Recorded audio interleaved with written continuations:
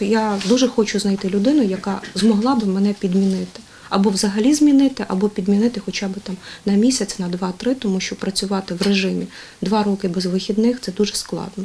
І велике прохання також до ботів, які дуже сильно активізувалися, тролів і так далі, щодо поливання бруду мене особисто, щодо там залякувань, супроводу мене автомобілями там до будинку і так далі. Тобто, ну я не боюся. Мій чоловік там, де страшніше.